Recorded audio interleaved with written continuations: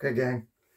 Neutral is in with, uh, you know, I, I have some insulation or some, you know, it's, I'm, I'm following what the other guys did. So, um, um, looks like it's okay, uh, with what's, you know, the insulation that I, I, I spli uh, stripped and, uh, so I'm okay with it. I did run the neutral behind some wires. You can see it. And I put a little service loop down here.